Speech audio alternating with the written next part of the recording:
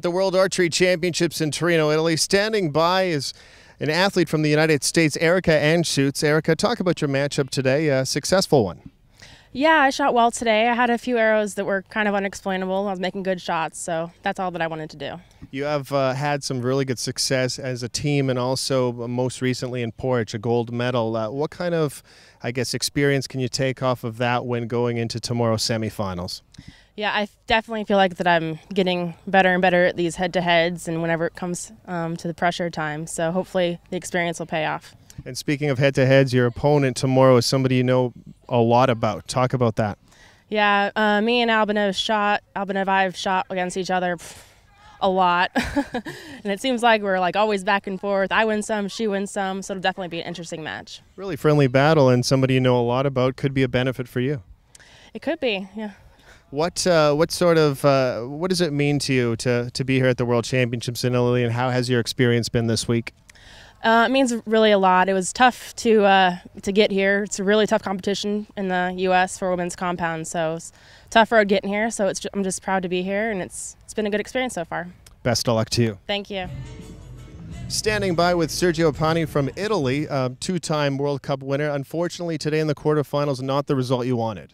Yes, I uh, I was hoping about a final, a final match, a semi-final, and a final. So now I'm stopped in the to the quarter. I'm a little disappointed because I never take a, a World Championship medal. So uh, I tried this time, but unfortunately I found a uh, an adversary that makes uh, one less to the total. So he shot well. I I'm waiting other, other two years now. Mm -hmm. Now tomorrow, though, you have uh, something to look forward to in the mixed gold final. That uh, that should be tremendous tomorrow in front of your home nation. Yes, fortunately, I have uh, now I, I, take my first world uh, championship medal in the mixed team with Marcella Tonioli. I'm very happy because uh, we are in in our countries. Uh, this new team is, I think, made for us because we are a nation that can have very good archer in for the mixed team. So we are all, all the season since uh, the the World Cup of uh, two years ago with uh, uh Anastasia Anastasio in Copenhagen making the final uh, with uh, Denmark. So I think this is a, a very nice nice medal, nice matches, nice team. I like. What is it like to be an Italian in Italy competing for a gold medal?